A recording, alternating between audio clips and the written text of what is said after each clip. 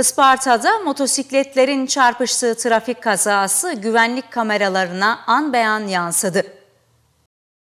Isparta'nın Sav beldesinde motosikletle çarpışan üç tekerlekli motosikletin sürücüsü Süleyman Bulgurcu'nun hayatını kaybettiği trafik kazası güvenlik kameralarına yansıdı. Edinilen bilgilere göre kaza 8 Ağustos Perşembe günü Sav beldesinde meydana geldi.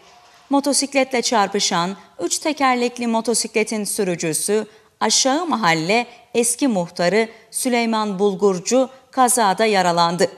Kazada ağır yaralanan Süleyman Bulgurcu 12 gün sonra tedavi gördüğü hastanede hayatını kaybetti.